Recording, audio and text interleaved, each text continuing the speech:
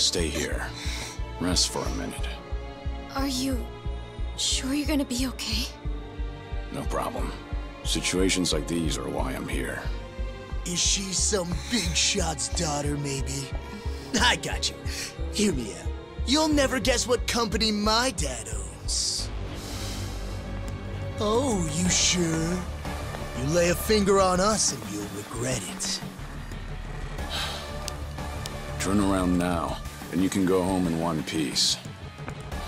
But if you don't, then keep this in mind. Everything could have been avoided if you just let her leave. Osama-kun! This guy wants to fight us. Well, now, this guy's just doing his job, right? And besides that, for the hero, the journey makes the prize better. now, let's show the lady what real men look like!